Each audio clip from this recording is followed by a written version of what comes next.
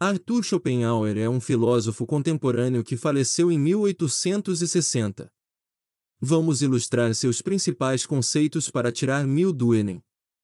O mundo é a minha representação.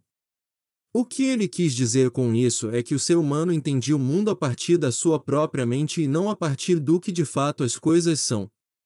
Vontade de viver é um pleonasmo. A vontade já é a vida, uma vez que a vontade é o que impulsiona o ser humano para fazer algo.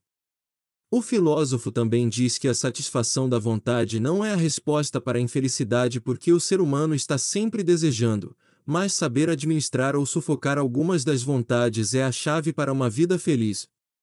Parte dessa teoria surgiu dos orientais, pois Arthur tem forte influência do Oriente.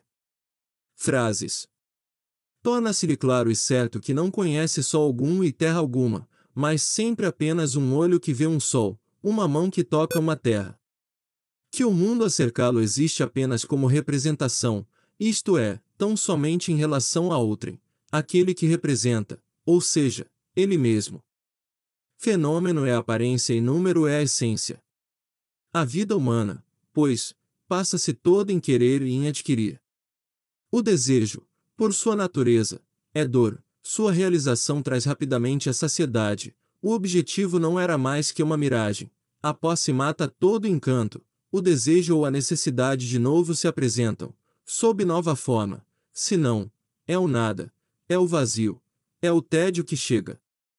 É quase sempre preciso que grandes sofrimentos tenham quebrantado a vontade para que a negação do querer possa produzir. Ou seja, só depois de sofrer muito em decorrência do querer que descobrimos que é preciso abafa-los.